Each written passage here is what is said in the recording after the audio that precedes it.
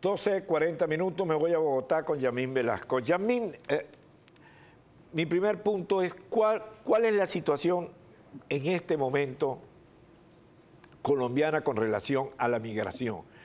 Me he dado cuenta y he podido percibir por algunas notas periodísticas que han habido eh, situaciones de violencia en algunos casos, etcétera. ¿Cuál, por supuesto tenemos un nuevo, una nueva administración en Colombia que también tiene un poco desajustado al país. Eh, ¿Cuál es, porque esa es la migración más importante, llega casi a dos millones de, de, personas. Entonces, ¿cuál es la radiografía que nos puedes hacer? Hola, eh, ciudadanos y amigos de EBTV Miami. Lo que has dicho es un tema eh, muy importante para casi 3 millones de venezolanos. Hay cifras extraoficiales que hablan hasta de 3 millones y medio, imagínate. O sea que ya llegamos a 3 millones.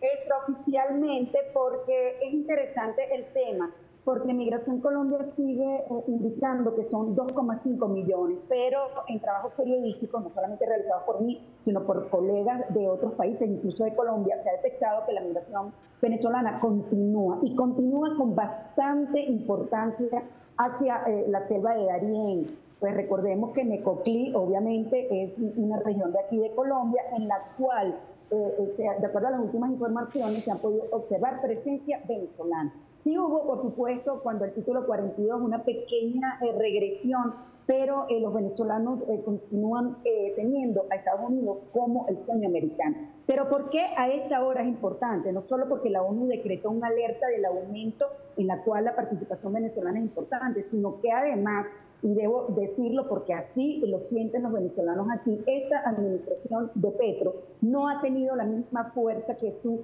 antecesor, es decir, el presidente Iván Duque. Y hasta esta hora en la que estamos hablando hoy, Migración Colombia ha tenido nuevamente que modificar la fecha, es decir, la promesa de entregar el PPT a los venezolanos hasta el próximo 30 de abril. No ha podido cumplir con la meta, bien porque hay una serie de venezolanos que no esperaron más el documento, que se están yendo de Colombia, y bien por los que sí quieren estar aquí, pues no hay respuesta y hay solamente reclamos. En el ánimo de las organizaciones eh, no gubernamentales. Ahora, Yavín, cuando tú dices se están yendo de Colombia, ¿es se están yendo de Colombia regresando a Venezuela o se están yendo para otro lado?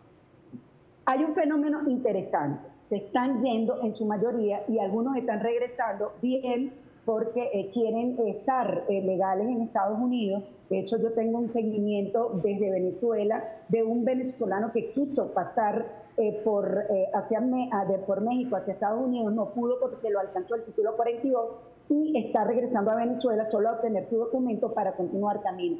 En la dinámica que vemos en Venezuela es que están tres o cuatro meses, porque pues imagínate, son cuatro, cinco, seis y hasta ocho años en las que no ven a sus familiares, están un tiempo, hay unos que incluso buscan un trabajo temporal y deciden luego salir. Esa es la dinámica. No regresan para quedarse, si hay excepcionales casos, pero la mayoría sigue porque siente obviamente que Venezuela todavía no les ofrece un panorama eh, de futuro, mm, de estudio económico, con lo cual ellos puedan regresar. Y el fenómeno es este.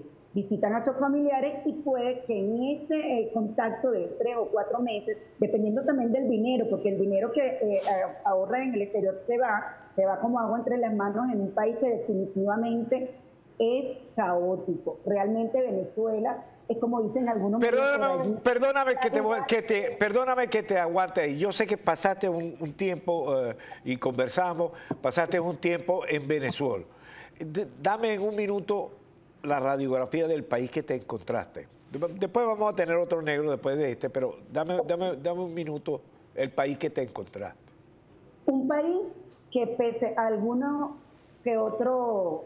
Eh, eh, digamos, revivir por emprendimiento, es un país que aniquila la esperanza de progreso educativo, de progreso económico y que definitivamente es la radiografía de un país de por lo menos 10 años de atraso, lo que se ve, por ejemplo, en su parque automotor y que si bien la burbuja de las Mercedes deslumbra a quienes no están, por supuesto, en constante permanente con Venezuela, es un país francamente en retroceso. la verdad es que no hay esperanza allí.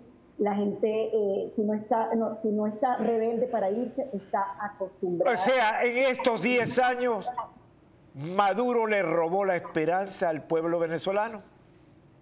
Se la trituró, definitivamente. Breve pausa y seguimos. Yamín Velasco.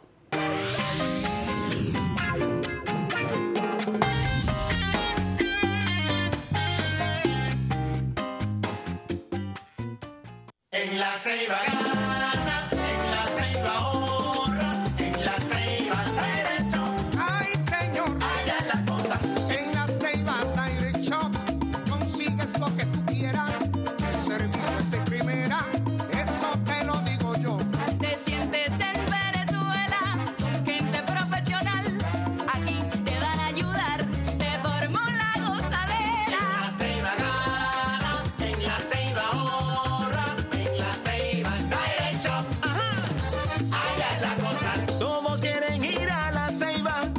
esa atención especial la gente va a disfrutar porque consigue de todo. Te invito para que vengas, yo sé que te va a gustar.